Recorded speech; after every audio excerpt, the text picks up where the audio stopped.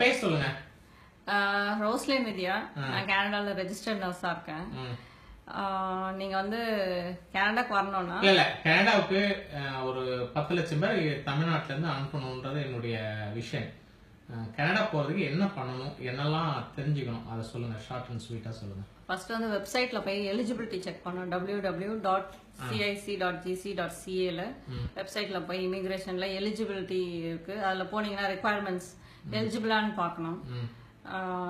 Like அதுல எல்லாமே இருக்கும். அதுக்கு தகுந்த மாதிரி பாயிண்ட்ஸ் போடுவாங்க. ஏஜ் அதுக்கப்புறம் நம்மளோட குவாலிஃபிகேஷன் அது பேஸ் பண்ணி அதுக்கப்புறம் ஐஎல்டில எத்தனை ஸ்கோர் எடுக்கணும்னு IELTS English qualification. English is so இப்போ அபவ் தேர்ட்டி ஃபைவ் போது பேண்ட்ஸ் ஜாஸ்தி ஆகலாம். ஒரு சிலருக்கு சிக்ஸ் பேண்ட்ஸ்லேயே முடியும். மாஸ்டர்ஸ் எல்லாம் பண்ணவங்களுக்கு ஹஸ்பண்ட் அண்ட் ஒய்ஃப் ரெண்டு பேருக்கும் டிகிரி எல்லாம் இருந்துச்சுன்னா ப்ராப்ளம் அவ்வளோ இருக்காது. ஐஎல்டிஎஸ் ஸ்கோர் லெஸ் எடுத்தா போதும். அது ஐஎல்டிஎஸ் ஸ்கோர் இதெல்லாம் எலிஜிபிலிட்டி ஃபினிஷ் பண்ணி எல்லாம் அதில் பாயிண்ட் சிஸ்டம் இருக்கு. இவ்வளோ பாயிண்ட்ஸ்னா அதுக்கு தகுந்த மாதிரி அந்தந்த டிஃப்ரெண்ட் ப்ராவின்சஸ்க்கு டிஃப்ரெண்ட் கேட்டகரிஸ் எல்லாம் அதாவது ஒவ்வொரு மாநிலங்கள் இப்ப நம்ம ஊர் மாதிரி மாநிலங்கள் ஒவ்வொரு மாநிலத்துக்கும் ஒவ்வொரு குவாலிஃபிகேஷன் கம்மியா ஸ்கோர் எடுத்தோம்னா சில பகுதிகளில் நம்ம குடியுரிமை ரொம்ப ரொம்ப ஹை டெம்பரேச்சர்ஸ் இருக்கும்ல. அபவ் ஃபார்ட்டி அந்த பிளேசஸ்க்கு ஈஸியா ப்ராவின்சஸ்க்கு பாப்புலேஷன் இல்ல அவங்களுக்கு. அதனால ஈஸியா அஹ், ப்ராசஸ். கியூபெக் எல்லாம். பட் கனடா பொறுத்த வரைக்கும் லேண்ட் ஆனதுக்கு அப்புறம் எங்க வேணாலும் நம்ம மூவ் பண்ணிக்கலாம். கனடா ஜஸ்ட் லேண்டிங்காக நம்ம அந்த ப்ராவின்ஸ்ல அப்ளை பண்ணலாம். இப்போ கியூபெக் இப்போ நிறைய பேர் கியூபெக் வந்திருக்காங்க. எனக்கு தெரிஞ்சவங்கலாம். நர்சஸ் அவங்களுக்கு ஈஸி ஆமா. அங்க ப்ராசஸ் பண்ணி அங்க லேண்ட் ஆயிட்டு வித்தின் டூ டேஸ்ல வேற ப்ராவின்ஸ் போயிடுவாங்க. வந்துக்கலாம். நம்மளால அப்படி போயிடுவாங்க. ஒரு பஸ் பிடிச்சி ஆட்டோ பிடிச்சி வந்துடலாம்.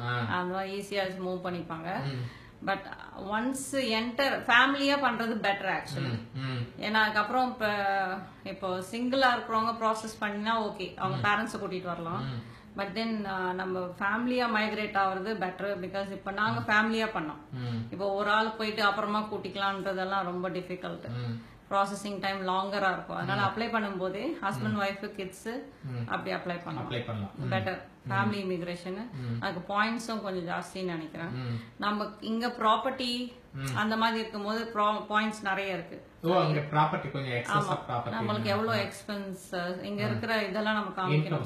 இன்கம் சோர்ஸ் வந்து நல்லா தான் இருந்துச்சுன்னா நிறைய பேர் நிறைய ப்ராப்பர்ட்டி எல்லாம் வச்சிருப்பாங்க. அவங்க பேர்ல ரெஜிஸ்டர் ஆயிருந்துச்சுன்னா அந்த டாக்குமெண்ட்ஸ் அது எல்லாத்துக்குமே பாயிண்ட் சிஸ்டம் இருக்கு. இப்போ அவங்களுக்கு வாண்டட் அதனால ஈஸியா ப்ராசஸ் ஆகும். அந்த வெப்சைட்ல போய் ஃபர்ஸ்ட் எலிஜிபிலிட்டி பார்த்தாலே போதும். அதுலயே டவுன்லோட் பண்ணி அதுல போலாங்க? நீங்க health care health care health care computer இந்த டாக்டர் பிசியோதெரப்பி ஆர்என் இந்த எக்ஸாம்ஸ் எல்லாம் கொஞ்சம் டஃப் டஃப் அது ப்ராப்பர் கோர்சஸ் எல்லாம் போகணும் அங்க அங்க போய் அப்டேட் பண்ணணும். ம் ம். இப்ப இவரெல்லாம் ஒன் இயர் காலேஜ் எல்லாம் போனாராங்க போனாங்க அக்கௌண்டிங் சோ அவங்க ஒரு சில டிகிரிஸ் வந்து இப்ப நர்சிங் வந்து அவங்க அக்செப்ட் பண்ணிப்பாங்க. பட் தென் அதுக்கு வந்து சில ப்ரோக்ராம்ஸ் அவங்க பண்ண சொல்லுவாங்க மிஸ் ஆனது. லைக் கம்யூனிட்டி நம்ம எது நிறைய மிஸ் பண்ணவும் அந்த மாதிரி. அது இப்பதான் ஸ்டார்ட் பண்ணாங்க நாங்க போகும்போது இல்ல. ஆமா. அது மாதிரி இப்போ அக்கவுண்டிங்ல அதே மாதிரி. அப்டேட் எல்லாம் அங்க பண்ணோம்.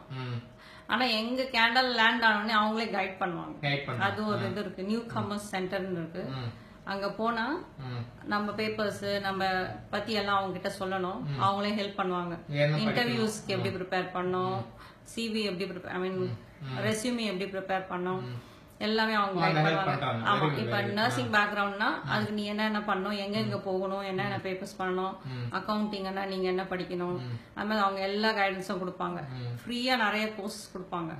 இப்ப இவரெல்லாம் இங்கிலீஷ் எக்ஸாம் ஃப்ரீயா அங்க பண்ணாங்க. கெனேடியன் பெஞ்ச் மார்க்னு அவங்களே அதுக்கு ட்ரெயின் பண்ணி அந்த இங்கிலீஷ் எக்ஸாம் பண்ண வச்சு அங்க இருக்க வாலண்டியரிங் ஒர்க் பண்ணி அவங்களே அந்த ப்ரொஃபஷன்ல நம்மள கொண்டு போவாங்க. சப்போஸ் அதுல நம்மளால எஸ்டாப்ளிஷ் பண்ண முடியலன்னா அந்த ப்ரோ அந்த ப்ரொஃபஷன்ல கெரியர் சேஞ்ச் பண்ணிக்கலாம். பண்ணிக்கலாம். அதுவும் அவங்களே சொல்லுவாங்க எப்படி பண்ணணும்னு. ப்ராப்பரா போனா. ஐ மீன் இமிகிரேட் ஆகி போனா நியூ கமர் சென்டர்ல எல்லாத்தையும் கைட் பண்ணுவாங்க. இப்போ அட்டஸ்டேஷனுக்கெல்லாம் வந்து அங்க எக்ஸ்பென்ஸ் ஜாஸ்தி ஐ மீன் டிரான்ஸ்லேட் இப்போ நிறைய பேர் சவுதி துபாயில இருந்தெல்லாம் இப்போ நாங்க ஃபர்ஸ்ட் சவுதியில தான் இருந்தோம். இப்போ அந்த டிரான்ஸ்லேஷன் சர்டிபிகேட்ஸ் எல்லாமே பண்ணி தருவாங்க. ம் ஃப்ரீயா பண்ணி தருவாங்க. இல்லாட்டி ஒரு ஷீட்டுக்கு டுவெண்ட்டி ஃபைவ் டாலர்ஸ் டாலர்ஸ் வெளியே ஸ்பெண்ட் பண்ண வேண்டியிருக்கும் ஆனா நம்ம நியூவா போகும்போது நிறைய ஃப்ரீ சர்வீசஸ் சைல்ட் கேர் நம்ம வேலை தேடும் போது நிறைய ஹெல்ப் பண்ணுவாங்க. அதனால கனடா உங்களுக்கு பிடிச்சிருக்கு இல்லையா? ஆமா பெஸ்ட் பிளேஸ் உங்க ரெண்டு பேர்ல யார் ஃபர்ஸ்ட் கனடா போகணும்னு எண்ணம் வந்தது யாருக்கு? உங்களுக்கு? அவர்தானா அப்ப சொல்லுங்க நீங்க தான் சொல்லணும். வேற மேடம் விட்டதெல்லாம் சொல்லுங்க தகவல்கள். ஆக்சுவலாக அங்கே போனதுக்கு அப்புறமா நம்ம வந்து நார்மலாக வேலை எங்க போறது என்ன பண்றதுன்னு யோசிப்போம். ஆனா அங்க அந்த சென்டருக்கு நியூ கமர்ஸ் சென்டர் போனாலே நம்ம ரெசியூமி அவங்களே கரெக்ட் பண்ணி எல்லாம் எந்தெந்த சின்ன சின்ன வேலை ஃபர்ஸ்ட் ஸ்டார்டிங் ஸ்டேஜுக்கு வேலை தேவைப்படும்.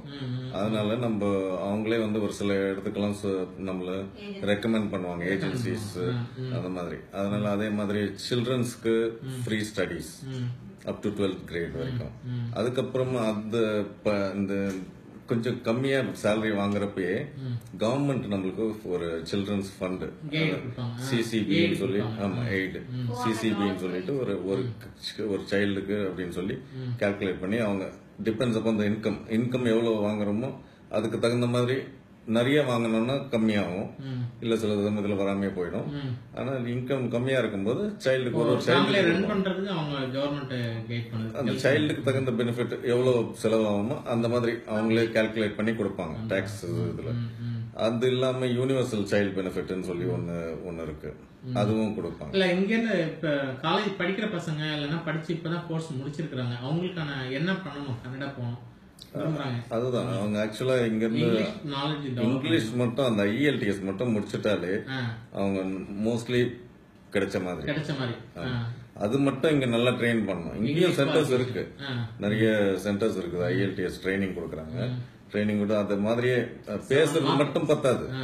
அதுல ஸ்பீக்கிங் ரைட்டிங் ரீடிங் அந்த மாதிரி இருக்கு. அது வந்து அவங்க அந்த சென்டர்ஸ் போனா அவங்க டெக்னிக் ஸ்கூல் சொல்லி கொடுப்பாங்க. அதுல பாஸ் பண்ணிட்டாலே அவங்க ஈஸியா போயிடலாம். காலேஜ் எந்த காலேஜ் அவங்க செலக்ட் பண்றாங்க? யூனிவர்சிட்டி மோஸ்ட்லி யூனிவர்சிட்டி போனா நல்லது. காலேஜஸ் எல்லாம் சிம்பிள் அங்க.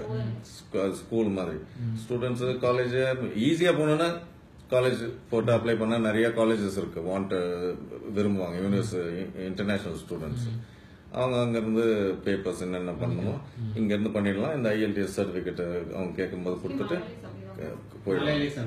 மோஸ்ட்லி நிறைய பேர் அங்க நிறைய பேர் போயிட்டு இருக்காங்க. அப்படியே டக்குனு அங்க இருந்து ஒன் இயர் உங்களுக்கு இது கொடுப்பாங்க கிரேஸ் டைம் அதுக்குள்ள நம்ம பெர்மனன்ட் ரெசிடென்ட்டா அப்ளை பண்ணி அந்த பேப்பர் வாங்கி அங்கேயே இருந்துடலாம். ம். உங்க பேர் sir John Xavier John Xavier